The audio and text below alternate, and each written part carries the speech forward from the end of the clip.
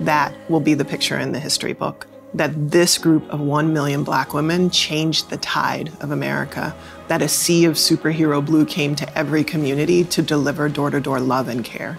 When GirlTrek stood on the stage and gave our audacious talk, we had 100,000 members. In just over two years from that moment, we had a million members.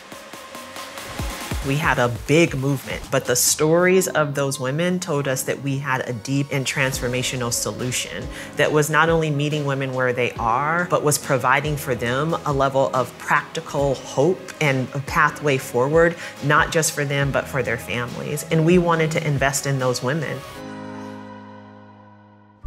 If you walk 30 minutes, you can reduce chronic disease by 50%, heart disease, stroke, diabetes, we want to see justice in our lifetime. We don't want to die a decade earlier than our sisters of other races. That is injustice. So we set a new goal. We said a million black women will walk for better health. GirlTrek's new chapter is organizing here in Montgomery, Alabama. We're converting our army of do-gooders into an army of community health activists. In the next 10 years, we believe that we can increase the life expectancy of black women by 10 years. Look for the black women in your neighborhood. Look for GirlTrek and trust that we are leading a cause that is bringing both joy and justice to our world.